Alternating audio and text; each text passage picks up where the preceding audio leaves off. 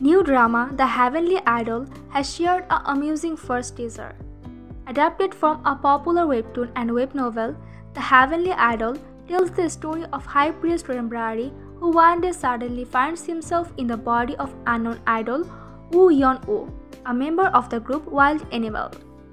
Kim Min Kyu will star as High Priest Rembrari, while Go Bo Gyeol will play the role of Wild Animal's manager and Woo Yeon Woo's Nongwan fan Kim Dal. The new teaser starts with Rembrari's narration.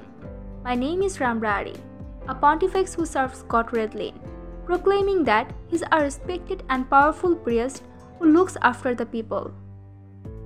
However, in the next scene, Pontifex Rembrari opens his eyes only to find himself suddenly on a stage in the middle of a live performance with the unpopular idol group Wild Animal.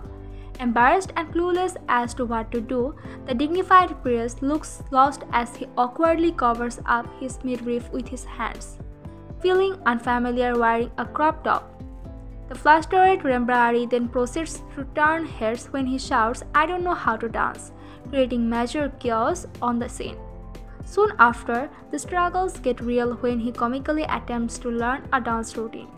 When he gets home, he faces another horrendous fact is living with the four other men in a small and packed dormitory. At the end of his long and confusing day, Rembrari slowly closes his eyes as he finally comes to terms with his new reality. From now on, I am the unpopular idol Woo Yeon Woo. How will the high priest adapt to his new reality?